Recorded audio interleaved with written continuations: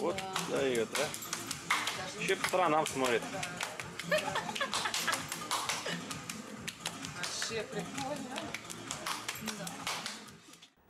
Нефтеюганские пианистки привезли два первых места с международного конкурса «Луиджи Дэнса», который недавно прошел в Италии. Учащиеся детской музыкальной школы имени Андреева Виктория Малова и Ирида Хусайнова получили звание лауреатов первой премии.